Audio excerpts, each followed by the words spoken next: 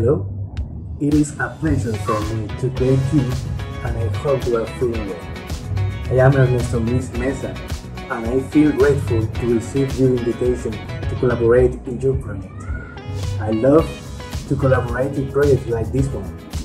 At the present time, I like to collaborate in several long-term projects. I hope to see you soon. Bye bye.